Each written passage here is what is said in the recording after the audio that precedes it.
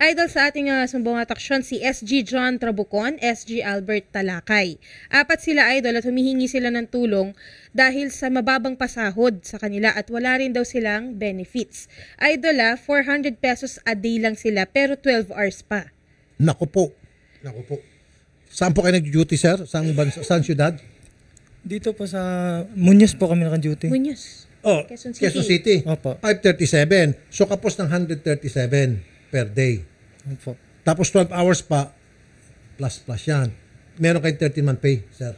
Ah, meron naman po kaso yun nga po sa mababang sahod, yun lang pong bilang nila sa 13 month pay namin. Sa, dapat ibabase yun sa minimum Opo. wage. Ah, be- benefits meron? SSS PL pag-ibig. Ah, hindi pa po namin na-update kung nahulugan po, hindi. Sige, kausapin na natin. Si Miss Tricia Espiritu, admin ng Gadi Force Agency. Magandang hapon po, Miss Tricia. Nabor? Madam, magandang hapon po, Madam Tricia. Yes po, sir. Good afternoon po. Ma'am, andito po yung mga SG ninyo. Ang kanilang pong sahod daw sa 12 oras, sa Muñoz sila na, uh, nagjo-duty, Quezon City, NCR yan, ay 400 lamang, 12 oras. Yes po, sir. Kinumpute po namin yan, ah, dapat po with ah, overtime at ibabase natin sa minimum wage, dapat po 805,000, eh, 805 pesos kada araw ang kanilang sweldo. Yes po, sir. So kapuso kayo ng 405 pesos every day. Yes po, sir. So ibibigyan niyo po yung 405 pesos na kulang. Opo, sir, wala pong problema. Pero po kasi may, Ganun. ah, may mga concern din po kasi kami dyan, sir, sa mga tao pong nagreklamo. Ano po yung mga concern niyo, ma'am? Yes po. Si John Trabucon po kasi is abandoning post po kasi siya, Sir Rafi. Kumbaga po, iniwan niya po yung pwesto na wala po siyang kapalitan. Eh, Okay, nasa batas po natin yun. Nasa batas po ng security. Okay. So, bakit po siya nag-a-abandon ng post? Alright. Tapos po, si Albert Talakay po is ganun din po ang case niya. Abandoning post din po siya, sir. Sa palagay niyo, ma'am, bakit niya, nila ina-abandon yung kanilang post? Sa pala- hulaan niyo lang po, ma'am. Baka mahulaan niyo. Ayun, sir, ang hindi ko po alam kung bakit. Ako, ma'am, kaya kong hulaan, ma'am. Sige po, sir.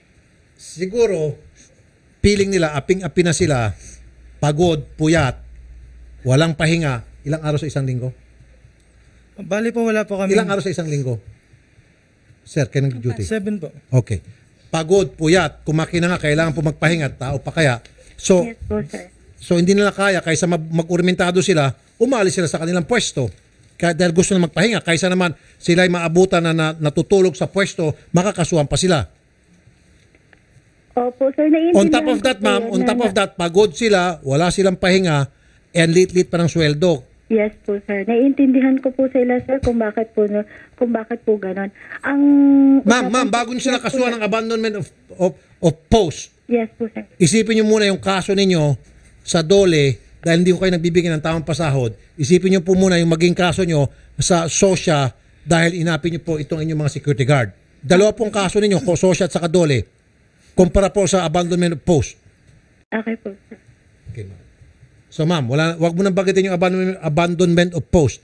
Problemahin na po natin yung kulang pong pasahod at benepisyo, ma'am. Okay, madam?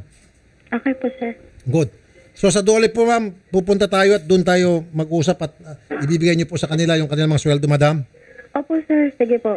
Pa, ah, mag-ano po kami na mag-arrange po kami ng settlement, sir. Very good. Palakpakan mo si Ma'am Tricia, direct.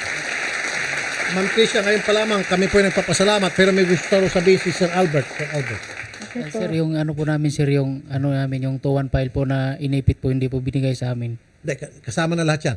Pagdating sa pag-uusap sa dole, isasama natin lahat yan. Thank you po. Kasi hindi lang dole ang involved natin, pati sosya, kung halimbawa pumalag sila. Pero kung sa dole pa lamang naayos natin, hindi natin kailan, kailan pumunta pa sa sosya. Okay po, sir. Salamat po, Ma'am uh, Tricia, ha? Okay po. Thank you po. Thank you. Okay. Um, Sir John, Sir Albert, Opo. sasamahan po namin kayo at uh, magkaayos po kayo. Okay? Sige po, salamat po. Salamat po. Thank you. Thank you. Salamat po, idol. Thank you. Pero, upo muna kayo. Ah, actually, i-off mo na si Miss Tricia. Hindi rin po maganda. Maging patas lang ako dito ha, na iniiwan niyo po yung post ninyo. Ah, sir, Sir, patapusin niyo po ako, sir. Abandonment of post. May problema nga naman kayo doon.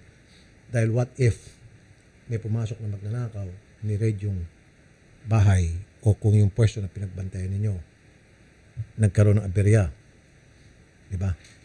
So dapat bago nyo i-abandon, i-abandon inyong post, kinakausap nyo inyong agency. Sinasabi nyo na masyadong gasgas na kami, wala na kaming pahinga. Pag hindi nyo kami binigyan ng day off, eh, baka mapipilitan kaming umalis para matulog. Kumbaga magbibigay kayo ng abiso, wag yung bigla na lang kayong aalis. Meron din po kayong mali, sir. Meron din. Di ba? Walang iniwan dito na ako, habang nag-announce kami, mamaya, nag-news break, lumayas na lang ako bigla. Masama po yun.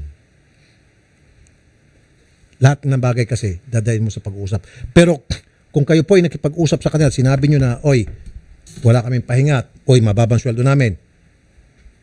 Tapos yan ay recorded. On top of that, hindi pa rin sila nakinig. Then, kahit saan pang korte pumunta, kahit saan pang ahensya ng gobyerno sila magreklamo na kayo nag-abandon ng post ninyo, panalo kayo. Dahil bigay ka ng sapat na warning eh. Di ba, sir? Ito advice ko na sa lahat ng mga SG, hindi lang po sa inyo. Oo nga, inaapi kayo. Talagang dapat pumalag kayo. Pero kausapin nyo muna bago nyo i-abandon na yung post nyo. Kausapin nyo muna yung amo nyo. Sabihin nyo yung inyong hinaing. Magbigay kayo ng warning na kapag hindi nyo po kami binigyan ng pahingat, puyat kami, pagod kami, pasmado kami, eh mapipilitan po kami umalis. Matatarantayan sila. Okay, sir? Yun lang po. Huwag nyo i-abandon na yung post nyo next time. Kung kayo po aalis na dito after after this na, na nagkaayos, sa mga susunod po na mga pagjujutihan nyo, huwag nyo i-abandon na yung post nyo. Okay? Salamat po mga sir. Salamat din po. Thank you.